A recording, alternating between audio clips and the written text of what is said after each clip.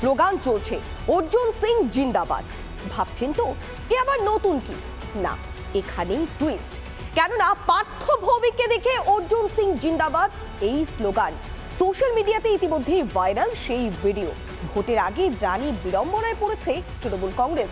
যখনই বিষয়টি জানাজানি হয়েছে তারপরে এই ধামা চাপা দেওয়ার চেষ্টা করছে শাসক শিবির। পার্থ ভৌমিককে দেখে ব্যারাকপুরের বিজেপি প্রার্থীর নাম ঘোষণা।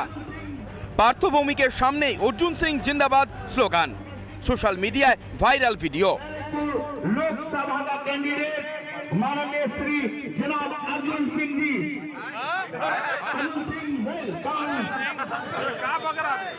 মানুষের মনে অর্জুন সিং এবং বিজেপি এবং তারই প্রতিফলন ফলেছে আজকে মানুষ মানুষের মনের আবেগকে তো আর ধরে রাখা যায় না এবং তাই হয়ে তবে এই ঘটনাকে গুরুত্ব দিতে নারাজ তৃণমূল এ আমাদের দলে ছিল। আমাদের কর্মীদের একটা আবেগ আছে। আমাদের কর্মীরা তত দ্রুত রং বদল করতে পারেনি। উনি যত দ্রুত রং বদল করেছে যে তৃণমূল ছেড়ে বিজেপিতে গিয়ে টিকিট নিয়ে নিয়েছে, কর্মীরা এত দ্রুত পারে না। কর্মীদের এখানে কাজ করে তার আবেগ থাকে। সেই জন্য উনি ভুল করে করে ফেলেছে। ব্যারাকপুর লোকসভা কেন্দ্রের গোলঘর এলাকায় তৃণমূল প্রার্থী পার্থ ভৌমিক একটি অনুষ্ঠানে যোগদান করতে যান। সেই সময় ঘোষক পার্থ ভৌমিককে দেখে অর্জুন সিং এর নামে জয়ধ্বনি দিতে থাকেন, আর তাতেই বাড়ে বিতর্ক। উত্তর চব্বিশ পরগনা থেকে টিটপ বিশ্বাসের রিপোর্ট, রিপাবলিক বাংলা। একেবারে দরজায় করা নাড়ছে নির্বাচন, তাই প্রচারে ঝড় তুলেছে শাসক বিরোধী সব পক্ষই। আর এবার উৎসবের আমেজে চলছে জোর কদমে নির্বাচনী প্রচার। জঙ্গলমহলে রানীবাঁধ এলাকার, যেখানে আদিবাসী অধ্যুষিত গ্রাম, সেখানেই প্রচার করলেন বাঁকুড়ার তৃণমূল কংগ্রেসের প্রার্থী অরূপ চক্রবর্তী। প্রথমে খাতড়ার মুকুটমণিপুর, পরে রানীবাঁধের হলুদ কানালি এলাকায় ধামসা মাদলের তালে আদিবাসী মহিলাদের সঙ্গে একেবারে নাচে গানে মিলে গেলেন তৃণমূল কংগ্রেসের প্রার্থী। প্রচারে তার সঙ্গী ছিলেন স্থানীয় বিধায়ক জ্যোৎস্না মান্ডি। প্রচার শেষে এক আদিবাসীর বাড়িতে পাপ পেরে মধ্যাহ্ন ভোজও সেরেছেন তিনি। এক কথায়, নাচ, গান, সঙ্গে খাওয়া দাওয়া, সব মিলে উৎসবের আমেজে চলল নির্বাচনী প্রচার।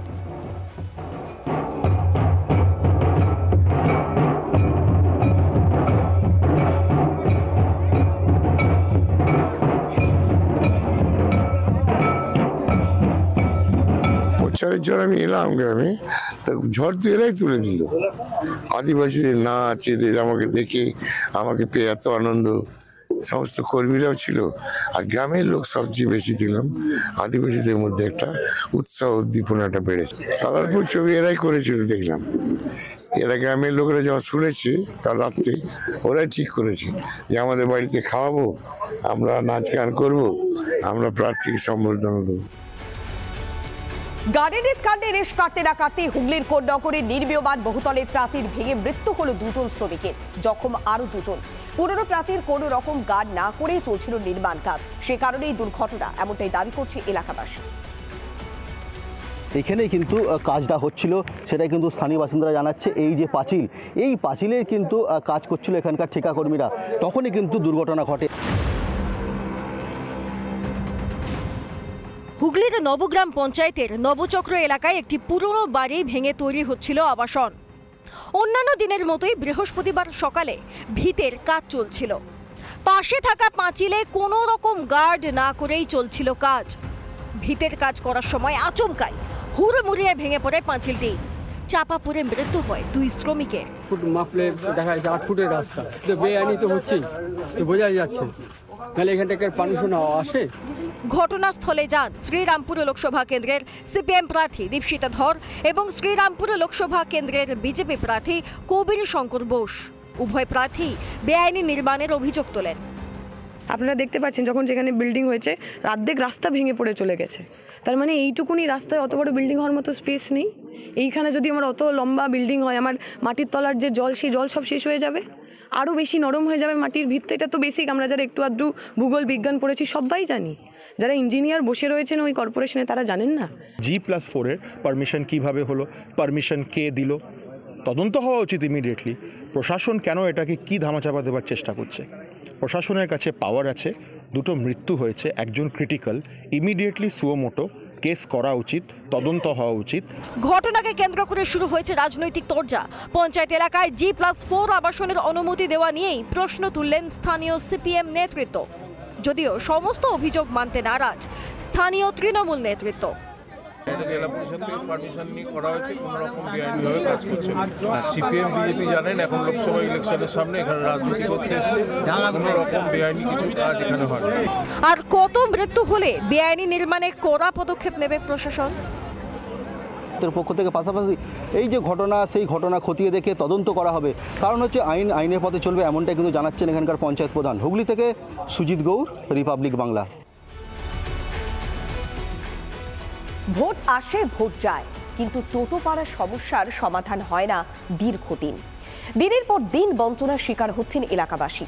যোগাযোগ ব্যবস্থা অনুন্নত, যে কোনো কাজে তাদের ছুটে যেতে হয় বাইশ কিলোমিটার দূরে মাদারিহাটে। ভোটের আগে শাসক দলের নেতারা উন্নয়নে নানা ধরনের প্রতিশ্রুতি দিয়েছে কিন্তু ভোট মিটে যাওয়ার পরেই তারা হয়ে গিয়েছেন ডুমুরের ফুল।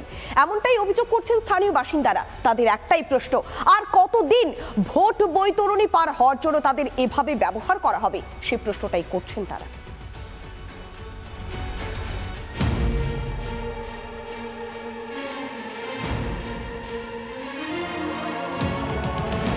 এই হলো টোটোপাড়া।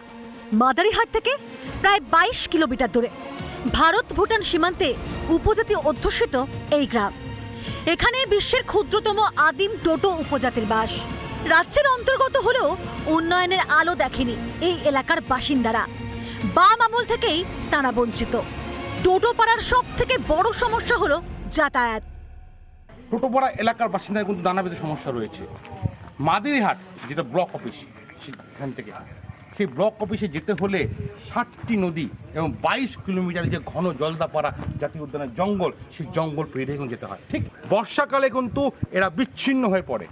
যোগাযোগ সব বন্ধ। তারা কিন্তু যেতে পারে না লোকালয়ে।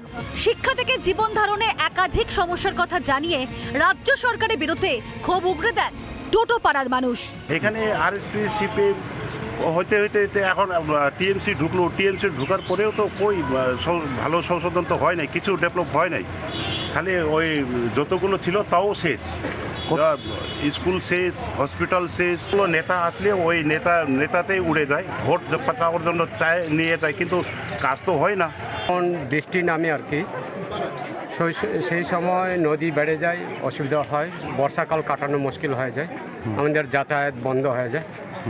তো এখান থেকে যোগাযোগ বিচ্ছিন্ন হয়ে যায় আর আমাদের দাবি, মূল দাবি হলো জমি জমার সমস্যা আর রাস্তাঘাটের সমস্যা। বিজেপি সাংসদ দীর্ঘ পাঁচ বছরে টোটো পাড়ার মানুষের জন্য কোনো কাজ করেনি বলে অভিযোগ। তৃণমূল প্রার্থী প্রকাশ চিকবড়াইয়ের মন্ত্রী ছিলেন ভারত সরকারের। চাইলে এখানে মেডিকেল কলেজ করতে পারতেন এয়ারপোর্ট এয়ারপোর্ট করতে পারতেন বড় বড় ব্রিজ করতে পারতেন মানুষের জন্য জলের পরিষেবা দিতে পারতেন গরিব মানুষের জন্য অনেক স্কিম করতে পারতেন। কিন্তু কি করলেন? খালি কি করলেন ওটা পাঁচ বছরে বলেন আমরা মেনে। কি কোনো আপনাদের কি কোনো পরিকল্পনা আছে টোটোপাড়া নিয়ে আগামীতে? একশো বার। আমার প্রত্যেকটা অঞ্চলকে নিয়ে পরিকল্পনা আছে। সীমান্তবর্তী এলাকার উন্নয়নের জন্য কেন্দ্র রাজ্যকে বিপুল টাকা দিয়েছে। কিন্তু সেই টাকা কোথায় গেল?